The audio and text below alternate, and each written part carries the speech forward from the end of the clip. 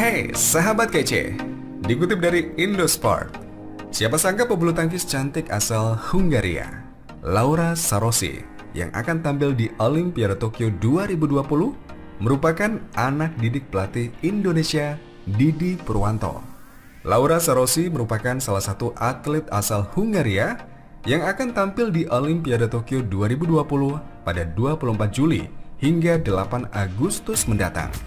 Tunggal putri berusia 28 tahun ini ternyata merupakan didikan pelatih asal Indonesia Didi Purwanto yang menjadi kepala pelatih di Tiza Tolase Seget Hungaria. Menurut data dari LinkedIn, Didi Purwanto merupakan mantan pemain jebolan Akademi Ragunan Badminton Club tahun 2000 hingga 2003 dan Jarum Badminton Club 2003 hingga 2006. Didi Purwanto kemudian sempat menjadi pelatih di Brunei Darussalam tahun 2006 hingga 2007 dan sempat menjadi asisten pelatih sekaligus pemain di PBSI-nya Iran 2007 hingga 2010. Ia terus kembali menjadi seorang pelatih di Federasi Bulu Tangkis Bahrain 2010 hingga 2011.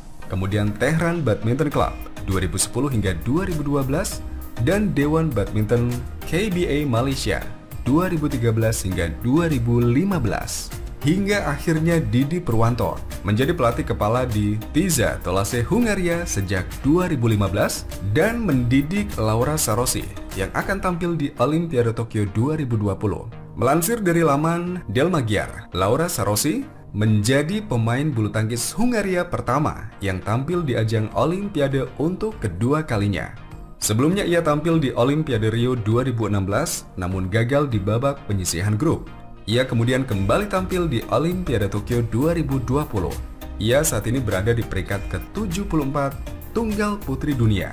Sedangkan pada World Tour Ranking menempati posisi ke-48 dan menjadi salah satu pemain andalan dari Hungaria.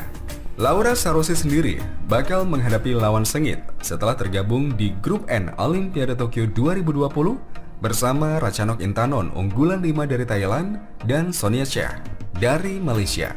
Kebahagiaan juga tengah dirasakan oleh pemain Suriah Aram Mahmud yang berhasil lolos ke Olimpiade 2020 di mana Aram menjadi salah satu rival pebulu tangkis putra Indonesia Jonathan Christie di fase grup.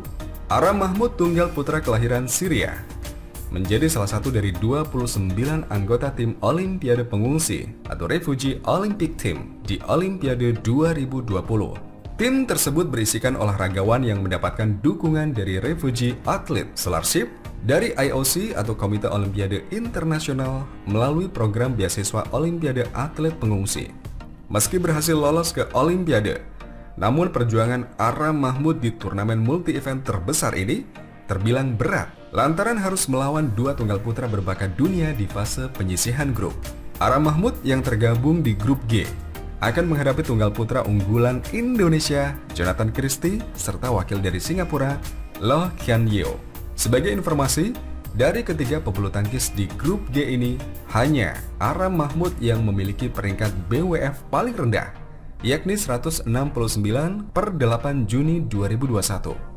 Walau bakal jalani laga berat, namun Aram Mahmud yang kadung lolos ke Olimpiade 2020 tak bisa menyembunyikan kebahagiaannya. Bahkan saat tiba di Tokyo, pebulu tangkis berusia 23 tahun tersebut langsung membagikan momen di lapangan yang mungkin bakal jadi tempat babak kualifikasi nanti. Dalam unggahan terbarunya, Aram Mahmud memposting foto di tengah lapangan dengan caption, "Perasaan luar biasa berada di sini."